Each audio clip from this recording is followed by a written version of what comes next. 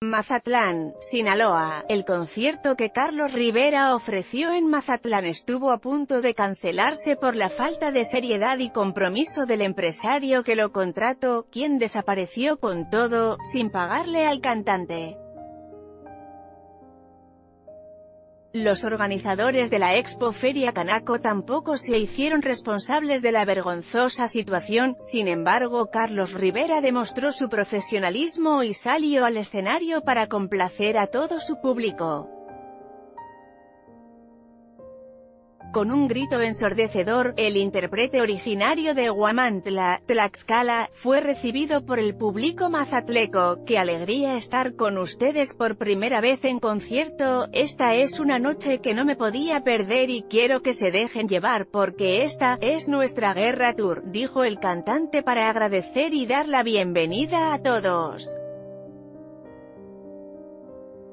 Los ánimos subieron de tono cuando el cantante eligió de entre el público a una chica. Foto, Víctor Hugo Olivas acompañado de cuatro bailarines, diez músicos y una producción espectacular. El ex académico inició su show precisamente con «Guerra», nombre que le da título a su tour. Infinidad de piropos, gritos y palabras comprometedoras de sus seguidoras recibió Carlos Rivera durante toda la noche, quien no hizo otra cosa más que consentirlas y desde luego agradecer su presencia.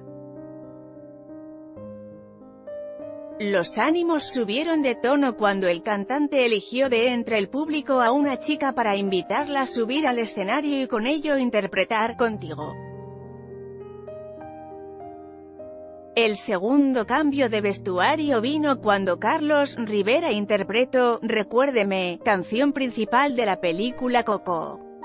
Palabras comprometedoras de sus seguidoras recibió Carlos Rivera durante toda la noche. Foto, Víctor Hugo Olivas, el debate luego siguieron otros temas románticos como el hubiera no existe, te amo, sería más fácil, grito de paz y si te vas.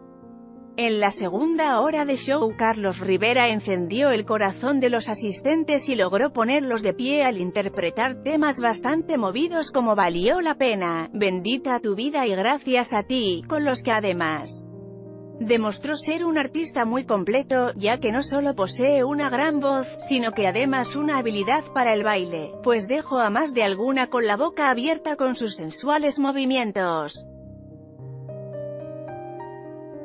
Carlos Rivera se despidió a la una de la mañana, sin embargo el público lo hizo regresar al escenario al grito de otra.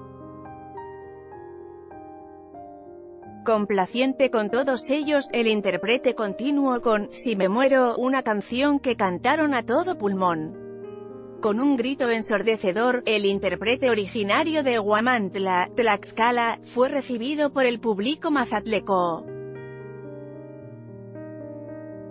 Foto, Víctor Hugo Olivas, RL Debate siguió con «Cómo pagarte» y finalizó con «Regrésame mi corazón», una balada que no hubo un solo asistente que no bailara y disfrutara desde sus asientos.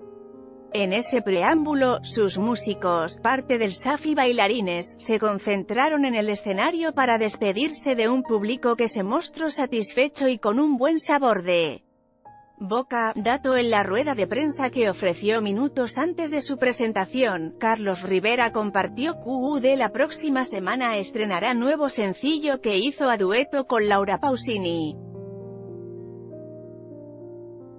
En esta nota.